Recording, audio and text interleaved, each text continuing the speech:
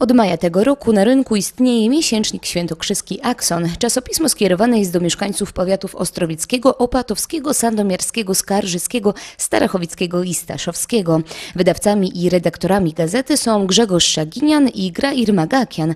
A oto co w najnowszym numerze znajdą czytelnicy. Kolejne wywiady e, z księżmi, z księdzem Stryczkiem.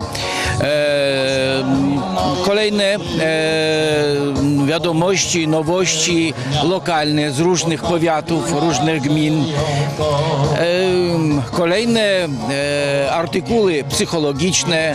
Staramy się trzymać się tych tematów, ramowych tematów, które istnieją już od pierwszego numeru.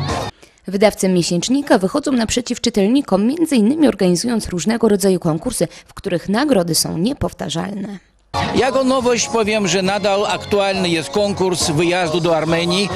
Niestety dostaliśmy kilkanaście kuponów, ale chcielibyśmy, żeby uczestniczyło więcej. Dlatego e, utrzymaliśmy e, numer szósty, gdzie są pierwsze pytanie, 100 egzemplarzy. Jeśli ktoś będzie chciał włączyć się w konkurs, dostanie szósty egzemplarz za darmo. W Aksonie starają się poruszać jak najmniej tematów dotyczących polityki. Czasopismo raczej nie polityczne, a polityczne. Nie da się uniknąć polityki do końca, ale będziemy próbować to robić.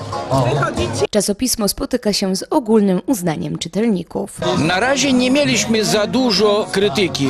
Krytyka za mało przepisów kulinarnych, więcej dowcipów, e, brak krzyżówki. To są główne zarzuty. A wydawcy dla czytelników przygotowali niespodziankę od października. Miesięcznik będzie dostępny bezpłatnie. Chcemy, żeby ona była lubiana przez wszystkich. To ma być dostępne dla wszystkich. Patronatem medialnym Aksonu jest lokalna telewizja.